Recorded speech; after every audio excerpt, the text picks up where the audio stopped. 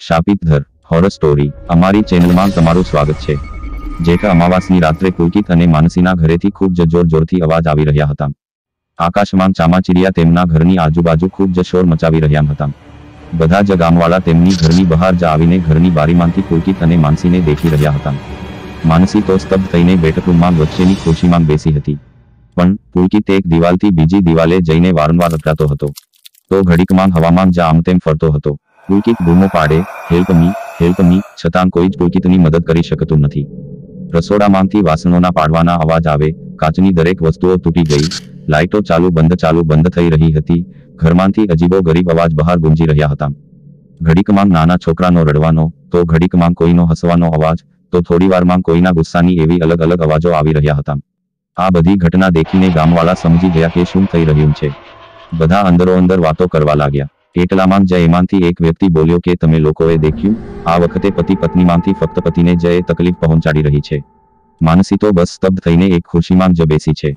તેને કની નથી થયું. આ સાંભળતા જ ગામવાળાની નજર માનસી પર ગઈ તો બધા આશ્ચર્યચકિત થઈ ગયા. ગામવાળાઓને દેખીને તો એવું જ લાગતું હતું કે, તેઓ આ ઘટનાથી વારંવાર પરિચિત હોય. ગામવાળાઓ એકબીજાઓ સાથે વાત કરવા લાગ્યા કે, આ જોડી છે જે ત્રણ મહિના સુધી પણ આ ઘરમાં સહી સલામત રહી. નહીંતર તો એક મહિનાની અંદર જ આ ઘરમાંથી ફક્ત પતિ પત્નીનો મૃતદેહ જ બહાર નીકળે. એટલામાં જ ત્યાં ઊભા રહેલામાંથી બીજી વ્યક્તિ બોલી કે, છતાં દેખો ને પુલકિત અને માનસીના જીવનમાં પણ આ શાપિત ઘરની છાયા પડી જ ગઈ. બસ હવે તો આપણે પ્રાર્થના કરી શકીએ કે ભગવાનને કે પુલકિત અને માનસીને સહી સલામત ઘરની બહાર નીકળવામાં મદદ કરે. ખબર નથી આ ઘરને કોનો શ્રાપ લાગ્યો છે કે કોઈ જ નવું વિવાહિત જોડું નથી રહી શકતું. કોણ જાણે અહીં શું થયું છે. છેલ્લા એંસી વર્ષમાં આ ઘરે એકસો સત્તાવીસ લોકો ભોગ બન્યા છે. ઘરમાં આવ્યા તો હોય ખુશ થઈને પણ ઘરની બહાર ફક્ત મૃતદેહ જ આવ્યા છે. આ તો ભગવાનની જ કૃપા કે પુલકિત અને માનસીને ત્રણ મહિના સુધી કંઈ થયું નહોતું. છતાં દેખોને આજે એ બંને પણ, એવામાં જ બીજા વ્યક્તિ બોલી કે, આપણે પણ માનસી અને પુલકિતને ત્રણ મહિના સુધી કંઈ જ ના થયું તો આપણે પણ નિરાંતે બેસી ગયા. કે હવે કંઈ જ નહીં થાય, પણ ખબર નહીં કે કેમ માનસીને કંઈ જ નથી થતું. આ વખતે ફક્ત જોડી નથી, એક જને જ તકલીફ, પીડા ભોગવી પડે છે. બીજાને કહી જ નહીં. આ સાંભળતા જ બધા, હા હા હા, કહીને અવાજ કરવા લાગ્યા. એટલામાં જ ગામવાળા કહેવા લાગ્યા કે આપણે આપણા મંદિરના પંડિત શ્રી દયાનંદ સ્વામીજીને બોલાવવા જ પડશે. આ જાણ કરવી જ પડશે. સ્વામીજી જોડે આ બધાનો કોઈના કોઈ રસ્તો જરૂર મળી રહેશે. ગામવાળા બધા, હા હા હા, ચાલો. આપણે બધાન જઈને બોલાવી આવીએ સ્વામીજીને. આપણા સાથે જ લઈને આવીશું. કહીને બધાન જ લોકો મંદિર તરફ પ્રસ્થાન થવા લાગ્યા. ગામવાળા રસ્તામાં બધી વાતો કરતાં કરતાં એક કલાકમાં તો મંદિર પહોંચી પણ ગયા. ગામવાળા બધા મંદિરની અંદર જઈને સ્વામીજીને પ્રણામ કર્યા. સ્વામીજી એ બધાને પૂછ્યું કે, શું થયું છે? તમારા માથા ઉપર આવી ચિંતાની લકીર સાથે ભયની રેખાઓ કેમ છે? ગામવાળાએ બધી ઘટનાઓ સ્વામીજીને કહી સંભળાવી. સ્વામીજી સાંભળીને ગામવાળા જોડે ગામ તરફ રવાના થઈ ગયા. રસ્તામાં બધા પોતપોતાના મંતવ્યો રજૂ કરતા હતા. અલગ અલગ અટકણો લગાવતા હતા. પણ આખા રસ્તામાં બસ સ્વામીજીના મુખ અને દિમાગમાં બસ એક જવાબ કે તે આવી ગઈ છે. તે તેની ઢીંગલીને લેવા આવી ગઈ છે. એવામાં એક વ્યક્તિ સાંભળીને સ્વામીજીને પૂછવા લાગ્યો, સ્વામીજી, કોણ આવી ગયું છે? કોણ છોકરીને લેવા આવી છે? તમે ઢીંગલીને ઓળખો છો. સ્વામીજી સ્વામીજી. સ્વામીજી કની પણ જવાબદારી આપ્યા વગર હાથમાં માળા કરતાં કરતાં બસ ચાલ્યા જ કરતા હતા. સ્વામીજી અને ગામવાળા બધા ગામમાં પહોંચી ગયા. સ્વામીજી ગામમાં પહોંચીને તેમના હાથમાં એક લોખંડનું ચપ્પુ લઈને તરત જ પુલકિતની ઘરની બહાર ગયા. અને ઘરની બારીમાંથી પુલકિત અને માનસી ઉપર એક નજર નાખી. સ્વામીજીની નજર પહેલા પુલકિત ઉપર પડી. પુલકિત હવામાં આમતેમ થઈને ઘરની દરેક દિવાલે અથડાતો હતો. બૂમો પડે જતો હતો. કોઈ તો મને બચાવો. પ્લીઝ, કોઈ તો આવો. માનસી. ત્યારબાદ તુરંત જ સ્વામીજીની નજર માનસી ઉપર પડી. સ્વામીજી માનસીને દેખીને અચંબિત થઈ ગયા.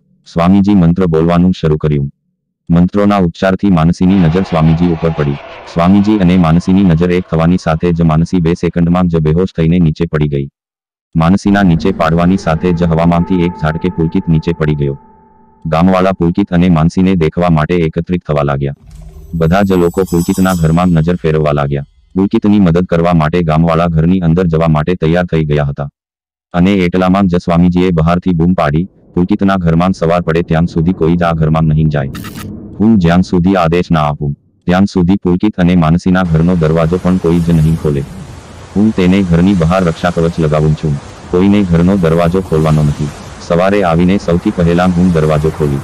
હું અંદર જઈશ. આટલું કહીને સ્વામીજી ત્યાંથી મંત્રોનું ઉચ્ચારણ કરતાં કરતાં નીકળી ગયા.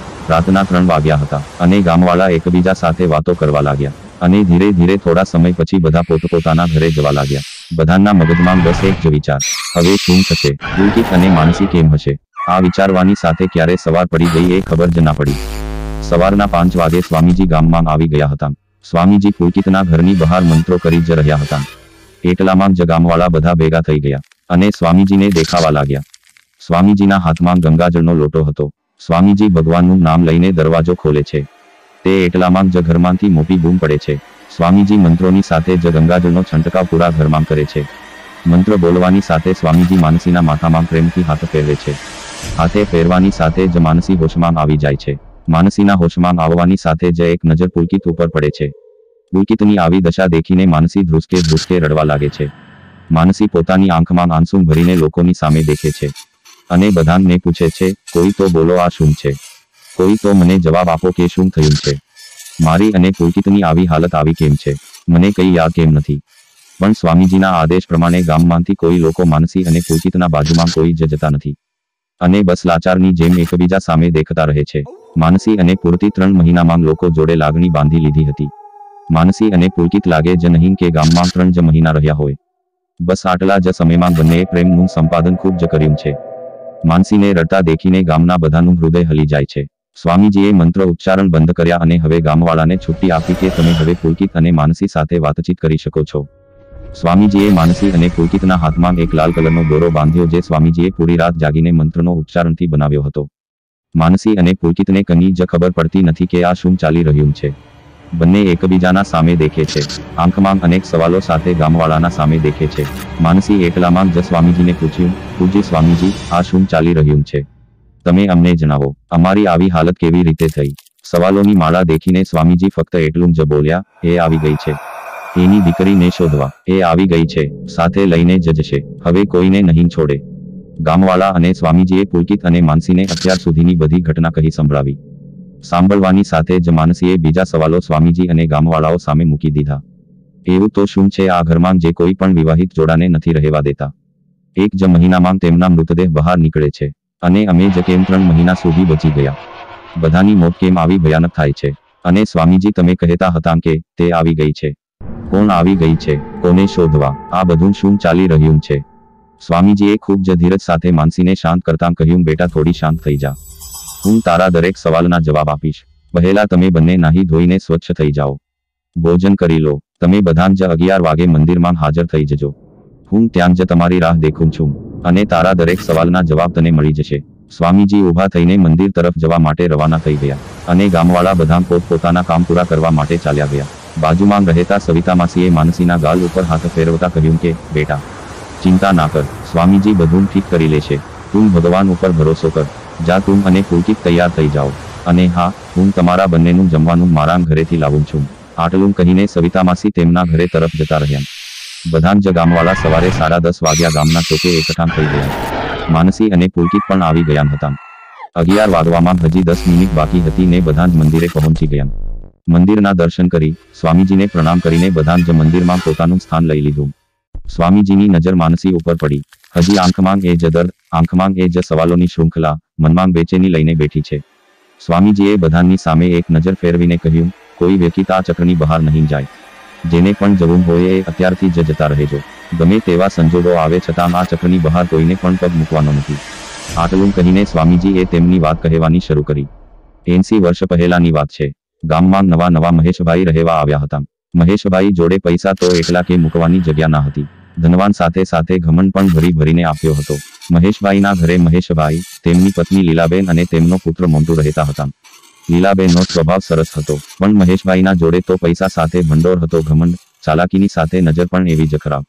અને પૈસાના લીધે મોન્ટુનો સ્વભાવ અને વ્યવહાર પણ ખરાબ. નાના માણસોને તો પગની જૂતી સમજે. મહેશભાઈના ઘરે રામુકાકા કામ કરતા હતા. રામુકાકાને એક દીકરી હતી. દીકરીના ઘરે દીકરી હતી. ઘણા સમય પછી પણ તેના ખોળે દીકરો ના અવતર્યો. દીકરો ના હોવાથી તેના સાસરિયા ખૂબ જ હેરાન કરે દીકરીને. તેથી રામુકાકા તેમની દીકરી પાયલ અને ગોડિયા મીરાને ઘરે લઈને આવી ગયા. એક દિવસ રામુકાકાની તબિયત બગડી હતી. તો મહેશભાઈના ઘરે કામ કરવા પાયલ ગઈ હતી. પહેલા દિવસે મોન્ટુ પાયલનો હાથ પકડીને અડપલા કરવા લાગ્યા હતો. પાયલ મોન્ટુથી બચીને ભાગી જાય છે. બીજા દિવસે પણ આ જ થયું. પણ રામુકાકાની તબિયત સારી ના હોવાથી પાયલને મજબૂરીથી મહેશભાઈના ઘરે કામ કરવા જાઉં જ પડતું. આમને આમ પંદર દિવસ થઈ ગયા. પાયલ દરરોજ મોન્ટુથી કનિક ને કનિક રીતે બચીને રહતી. પણ આજે પાયલ તેની સાથે તેની અગિયાર વર્ષની દીકરી મીરાને પણ લઈને આવી હતી. પાયલ જ્યાં કામ કરે મીરા તેની પાછળ પાછળ રમે જાય. પાયલ બધું ઘરનું કામ પતાવીને છેલ્લે મોન્ટુનો શયનખંડ સાફ કરવા ગઈ. ત્યાં મોન્ટુ સાથે આજે મહેશભાઈ પણ બેસેલા હતા. પાયલ તેના કામમાં વ્યસ્ત હતી. અને મીરા રૂમના એક ખૂણામાં રમતી હતી. મહેશભાઈની નજર મીરા ઉપરથી હટે જ નહીં. અને મોન્ટુની પાયલ ઉપરથી. મહેશભાઈ મીરાને ચોકલેટ અને રમકડાં આપવાના બહાને બીજા રૂમમાં લઈ ગયા. બેટા બેટા કહીને મીરાના શરીરના અલગ અલગ અંગને સ્પર્શ કરવા લાગ્યા. મહેશભાઈના મગજમાં દાનવે જન્મ લઈ લીધો હતો. બીજી બાજુ મોન્ટુ પણ પાયલને અલગ અલગ બહાને સ્પર્શ કરતો હતો. મોન્ટુને ખબર હતી કે તેની મમ્મી ઘરે નથી તો કોઈ નહીં આવે વચ્ચે. મોન્ટુ પાયલ સાથે જબરદસ્તી કરવા લાગ્યો. ગમે તે કરીને પાયલ ત્યાંથી ભાગીને મીરા જોડે જતી જ હતી. પણ રૂમનો દરવાજો ખોલતા જ પાયલના નીચેથી જમીન હટી ગઈ. પાયલે તાકાતથી મહેશભાઈને ધક્કો મારીને મીરાના ઉપરથી દૂર કર્યા. અને એક ઝંઝાહિત થપ્પડ મહેશભાઈના ગાલ ઉપર છાપી દીધી. મહેશભાઈએ જોરથી બૂમ પાડીને કહ્યું, પાયલ, તું એક નોકરાણી છે. માલકીન બનવાની કોશિશ ના કર. તારા અને તારી બે કોડની દીકરીની જગ્યા તો અમારા જેવાની પગ નીચે જ છે. આવો અવાજ આવવાથી મોન્ટુ તરત જ મહેશભાઈના રૂમમાં આવી ગયો. રૂમનું દૃશ્ય દેખીને મોન્ટુ બધું સમજી ગયો. મોન્ટુએ તેના પિતાનો વિરુદ્ધ કરવાની જગ્યાએ મોન્ટુમાં પણ હવસ જાગી ગઈ. મોન્ટુએ પાયલને એક જ થપ્પડ મારીને જમીન ઉપર નાખી દીધી. મોન્ટુ પાયલ ઉપર જબરજસ્તી કરવા લાગ્યો. પાયલ તેની જાતને બચાવતી હતી. બચાવતા બચાવતા તેની નજર મીરા ઉપર પડી. પાયલ જોર જોરથી રડવા લાગી. અને ગુસ્સાની જગ્યાએ ભીખ માંગવા લાગી મહેશભાઈ જોડે, સાહબ, મહેરબાની કરીને મારી મીરાને છોડી દો. એ ખૂબ જ નાની છે. મારા સાથે જે કરવું હોય એ કરો.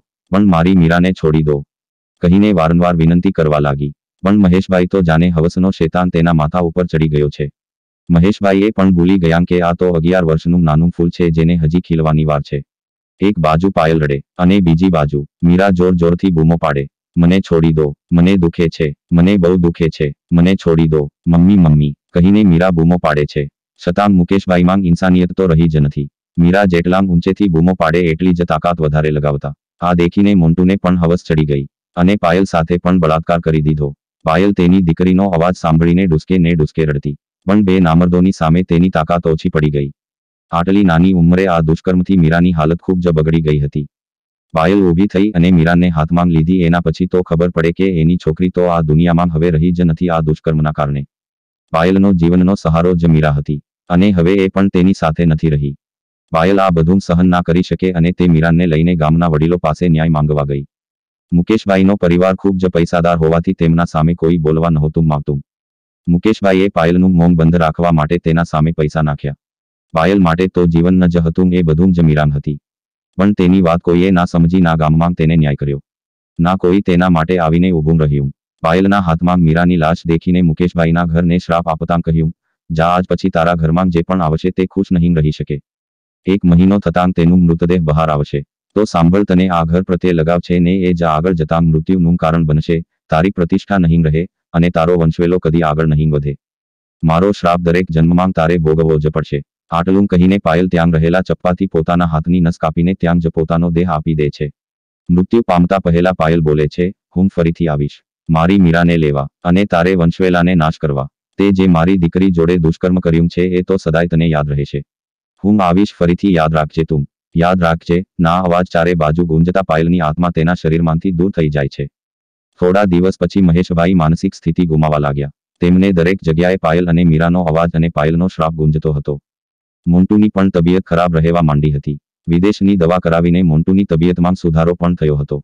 સારી છોકરીને દેખીને લગ્ન પણ કરાયા. મોન્ટુના ઘરે પારણું બંધાયું. સરસ એક દીકરાને જન્મ આપ્યો. પણ અગિયાર દિવસ થતાં થતાં જ પાયલનો અવાજ ફરીથી એ ઘરમાં ગુંજવા લાગ્યો. અને બારમા દિવસે સવારે બાળકને રમાડવા માટે હાથમાં લીધો ત્યારે ખબર પડી કે બાળકનું મૃત્યુ થઈ ગયું છે. ઘરમાંથી જોરશોરથી પાયલનો હસવાનો અવાજ સંભળાયો હતો. થોડા વર્ષો ગયા પછી મોન્ટુને ફરીથી એક બાળકને જન્મ આપ્યો. બાળક ખૂબ જ તંદુરસ્ત હતો. છતાં એ પણ બાળક અગિયાર માંગ દિવસે મૃત્યુ પામી ગયો. વારંવાર આ ઘટના થવાથી મોન્ટુ પણ તેની માનસિક સ્થિતિ ગુમાવી બેઠો હતો. તેની પત્ની ઘર છોડીને જતી રહી હતી. મોન્ટુ પસ્તાવાની સાથે બોલે છે, મમ્મી, અમે જે કર્યું એ ખોટું હતું. પણ તે કેમ આવું કર્યું? તે આ મિલકત અને મોભાને સાચવવા માટે તે મીરાના દેહની અસ્થિ હજી પણ સાચવીને રાખી છે. ત્યારે એ રામુકાકાને આપી દેવાની હતી. અમે તો માફીના કાબિલ પણ નથી. પણ તું આટલી સમજદાર હોવા છતાં તે કેમ ભૂલ કરી? લીલાબેનની આંખોમાંથી ટપટપ આંસુ વહેતા હતા. મારી ભૂલ છે પણ મને એમ હતું કે હું એની દીકરીની અસ્થિ સાચવીને રાખીશ તો એ આપણા પરિવારને નુકસાન નહીં પહોંચાડે. પણ હું ખોટી પડી. તે તેની દીકરીના ન્યાય માટે જરૂર આવશે. અને આપણે કંઈ નહીં કરી શકીએ. એક એક કરીને બધું જ આપણા હાથમાંથી જતું રહ્યું. લીલાબેન રડવા લાગ્યા. એટલામાં જ મોન્ટુએ શ્વાસ છોડી દીધા. અને લીલાબેન પણ પાયલના જેમ જ આત્મહત્યા કરી લીધી. મુકેશભાઈ, લીલાબેન અને મોન્ટુ દરેકના મોત આજ ઘરમાં થયા. ઘર તેમના નાનાભાઈ જોડે જતું રહ્યું. ઘરનો વહીવટ બધું હવે તેમને નાનાભાઈ કરે છે. ગામવાળાએ ના પડ્યા છતાં મુકેશભાઈનો નાનો ભાઈ આ ઘરને હંમેશા ભાડે આપતો જ હતો. અને તેમના ડરથી ગામમાંથી કોઈ તેમને ના પણ નથી પાડી શકતા. એંસી વર્ષોમાં એકસો સત્તાવીસ લોકો અલગ અલગ રીતે મર્યા છે. કોઈ પુલકિત જેવી રીતે દિવાલે અથડાઈને મર્યું છે, તો કોઈ તેની માનસિક સ્થિતિ ગુમાવી બેઠ્યું છે, કોઈ એક્સિડન્ટથી મરી ગયું છે. ઘરમાં લોકો અલગ અલગ બધી વસ્તુઓ દેખાતી હતી. અમુક વખત તો લાશમાંથી કીડા બહાર આવે ત્યારે તો ખબર પડે કે અંદર કોઈ મરી ગયું છે. પહેલી વખત એવું થયું કે પતિ પત્ની માટે પતિને નુકસાન પહોંચે છે. અને માનસી તને એક ખરોચ પણ નથી આવી. ગામવાળા એટલામાં બોલવા લાગ્યા, સ્વામીજી, પણ કેમ આવું થયું? અમે પણ પહેલીવાર જ આવું દેખ્યું. સ્વામીજી તરત જ બોલ્યા, આનું કારણ છે. માનસીના અંદર રહેલા નવજાત શિશુના કારણે. માનસીને કંઈ જ નથી થયું. આ સાંભળતા જ ગામવાળા અંદરો અંદર વાતો કરવા લાગ્યા. બધામ ખુશ થયા. માનસી પણ તેની આંખમાં ખુશીના આંસુ સાથે તેના પેટ ઉપર હાથ ફેરવવા લાગી અને પુલકિત સામે હસવા લાગી. સ્વામીજી બોલ્યા, હા બેટા, તું પેટથી છે. તારા અંદર એક નાનો જીવ જીવી રહ્યો છે. બસ આ જ કારણે પાયલે તને હાથ પણ નથી લગાવ્યો. અને પુલકિત પણ હાલ આપણી વચ્ચે છે. અવતરણ ચિહ્ન. એવામાં પુલકિત ગંભીર થઈને બોલ્યો, સ્વામીજી, અને ઘર છોડી દઈશું. તમારા ઉપરથી આ મુસીબત હટી જશે ને. હવે આ ગામમાં નથી રહેવું. હું, માનસી અને મારા આવનારા બાળક માટે મારે કોઈ મુસીબત નથી લેવી. એવામાં તરત જ સ્વામીજીએ બોલ્યા, પુલકિત મુસીબત એવી વસ્તુ છે, તું જ્યાં જઈએ ત્યાં તારી સાથે સાથે જ આવશે.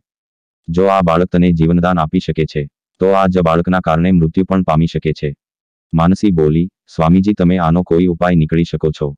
આપણે શું કરીએ જેથી પાયલની આત્માને શાંતિ મળે? પાયલ ખરાબ નથી, તેની દીકરી સાથે થયેલા આવા દુષ્કર્મથી કોઈ પણ માંગ સૂઝબૂઝ ગુમાવીને કંઈ પણ કરી શકે છે. પણ હવે હું પાયલની આત્માને શાંતિ આપવા માંગુ છું. સ્વામીજી, તમે કહેશો એમ હું કરીશ. મારે આ મુસીબતથી મારે પણ નીકળવું છે અને બીજા લોકોને પણ બચાવવા છે. સ્વામીજી, તમે કોઈ ઉપાય કહો અમને. હું બધું જ કરવા તૈયાર છું. સ્વામીજી, આ સાંભળીને તરત જ બોલ્યા, આનો ઉપાય બસ એક જ છે. કે મીરાની અસ્થિઓ શોધીને તેનું વિસર્જન કરીએ. મીરાની અસ્થિ ક્યાંક છે જે કોઈને પણ ખબર નથી. જ્યાં સુધી મીરાની અસ્થિઓનું વિસર્જન નહીં થાય, ત્યાં સુધી પાયલની આત્મા આમ જ ભટકતી રહે છે.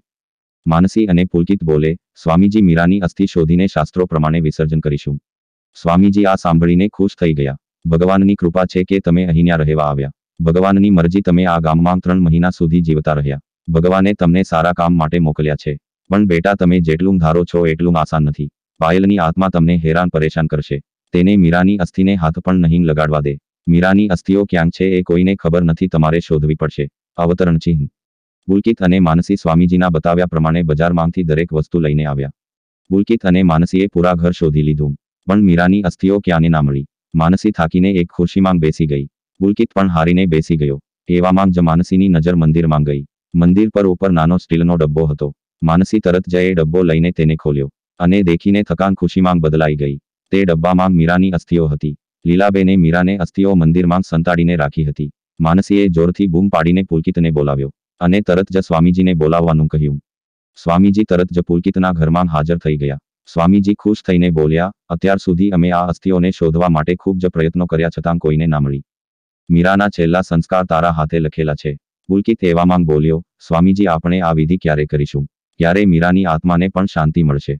સ્વામીજી બોલ્યા, બેટા, આપણે આવતીકાલ સવારે આ વિધિ શરૂ કરીશું. તેમાં તારે અને માનસીને બેસવાનું છે. યાદ રાખજે બેટા, તમને બંનેને કંઈ જ નહીં થાય. ભગવાનની કૃપા છે તમારા ઉપર. કંઈ પણ થાય પણ તું વિધિમાંથી ઊભો નથી થતો. આટલું કહેતા જ માનસી અને પુલકિત રાજી થઈ જાય છે. બીજા દિવસે સવારે માનસી, પુલકિત અને સ્વામીજી સાથે ગામવાળા પણ પુલકિતના ઘરે વિસર્જનની વિધિમાં બેસ્યા. વિધિ શરૂ થવાની સાથે જ ઘરમાં અજીબ અજીબ અવાજ આવવા લાગ્યા. ફરીથી બસ એ જ અવાજ, નાનું બાળક રડતું હોય, તો ઘડીકમાં હસવાનો અવાજ, તો ઘડીકમાં એ દર્દ ભરેલો અવાજ આવા અનેક અવાજો ગુંજવા લાગ્યા. અવાજના કારણે બધાના મનમાં એક ડર છવાઈ ગયો. છતાં માનસી અને પુલકિતનો સાથ આપવા માટે કોઈ જ એ વિધિમાંથી ઊભું ના થયું. બધા જ લોકો એકબીજાનો હાથ પકડીને બેસી રહ્યા. અજીબ અજીબ અવાજ થવા લાગ્યા. રસોડામાંથી વાસણ નીચે પડવા લાગ્યા. બહારથી હવા અંદર આવવા લાગી. છતાં માનસી અને પુલકિત સાચા મનથી મીરા માટે પૂજા કરતા હતા. બસ પૂજા પૂરી થવા આવી જ હતી. અને એટલા માટે જોર જોરથી રડવાનો અવાજ આવવા લાગ્યો. પાયલનો અવાજ ગુંજવા લાગે. પાયલ રડતી હતી એ અવાજ બધાને સંભળાવા લાગ્યો. પાયલના અવાજમાં દર્દ, નિરાશા, તકલીફ, લાચારી અનુભવાતી હતી. પાયલના અવાજથી માનસી પણ રડવા લાગી. માનસીને અનુભવ થતો હતો કે આ બધી તકલીફ તો તેના સાથે થઈ રહી છે. એટલામાં સ્વામીજી મંત્ર બોલે છે અને પાયલનો અવાજ સ્પષ્ટ સંભળાય છે. પાયલ જોર જોરથી બોલે છે, આજ બધાન હતા જ્યાં હું મારી દીકરીનો ન્યાય માગવા કરી હતી. પણ કોઈને મારો સાથ પણ ના આપ્યો. હું રડતી રહી પણ ગામમાંથી કોઈ આગળ ના આવ્યું. અને આ ગામવાળા આજે મારી દીકરીની વિધિ કરે છે. એંસી વર્ષ પહેલા ક્યાં ગયા હતા? મારી દીકરી તડપીને મરી છતાં અને ન્યાય ના મળ્યો. સ્વામીજી એ વખતે તમે પણ હતા, તમે પણ કંઈ જ ના બોલ્યા. મૂંગા બનીને બસ દેખતા રહ્યા. તમારામાં પણ ઇન્સાનિયત નથી. તો આજે કેમ તમે આવ્યા?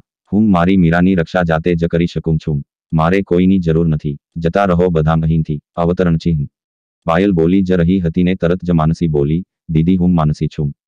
તમે તો મારો જીવ બચાવ્યો છે. તમારા જ કારણે આજે હું અને મારો બાળક જીવે છે. હું જ તમારી મીરાની આત્માને શાંતિ અપાવીશ. તમે મારા ઉપર ભરોસો કરો. પાયલ આટલું સાંભળતાં બોલી, મને હવે કોઈના ઉપર ભરોસો રહ્યો નથી. બધા કહે છે, પણ છેલ્લે કોઈ જ નથી આવતું. મારી મીરા તડપીને મરી છે. છતાં તેનો ન્યાય કરવા માટે કોઈ જ આગળ ના આવ્યું. હું કેવી રીતે કોઈનો વિશ્વાસ કરું? માનસી આ સાંભળતા કહે છે, દીદી, તમને મારા ઉપર વિશ્વાસ ના હોય તો તમે મને અને પુલકિતને પણ મારી નાખ્યા હોય. છતાં આજે અમે તમારી સામે છે. પાયલે કહ્યું, હું કેવી રીતે તમે મારી શકું છું? તારામાં એક નાનો જીવ જન્મ લઈ રહ્યો છે. મારાથી બાળહત્યા ના થાય. આ સાંભળતા જ માનસીની આંખમાંથી આંસુ આવી જાય છે અને મનમાં દુઃખ સાથે બોલે છે, દીદી, મીરા સાથે ખૂબ જ ખરાબ થયું. પણ તમે એને આ યોનિમાંથી જવા નહીં દો તો એ કેવી રીતે નવો જન્મ લઈ શકશે? મીરાની આત્મા તડપે છે, તેને મોક્ષ જોઈએ છે. તમે તમારી દીકરી માટે મીરાને જવા દો. પાયલ જોરથી બોલે છે, મને કોઈના ઉપર વિશ્વાસ નથી. માનસી આ સાંભળતા જ પાયલ સામે એક શરત મૂકે છે કે, હું તમને કે મીરાને કોઈને પણ તકલીફ પહોંચાડું તો તમે મારા બાળકની હત્યા કરી લેજો. પાયલ આ સાંભળતા જ માનસીની વાત માની જાય છે અને આગળની વિધિ શરૂ થાય છે. વિધિ પૂરી થયા પછી માનસી અને પુલકિત બંને નદી કિનારે અસ્થિઓનું વિસર્જન કરવા જાય. વિસર્જન કરતાં કરતાં માનસીની આંખમાંથી હળહળ આંસુ વહે છે અને મીરા સાથે થયેલી બધી જ તકલીફ મહેસૂસ કરે છે. પાયલ આ દેખતા જ બોલે છે, માનસી, મેં મારા જીવનમાં ઘણા માણસોને દેખ્યા છે. પણ તારા જેવી કોઈને નહીં. આ ઘરમાં જેટલાંગ રહેવા આવતા એ બધાના અંદર કનિક ને કનિક સ્વાર્થ હતો જ. મને એમની હત્યાંકે તડપાવતા બિલકુલ ખચકાટ થયો નથી. પણ આજે તમે દેખીને તું મારી દીકરીના દુઃખે દુઃખી થઈ.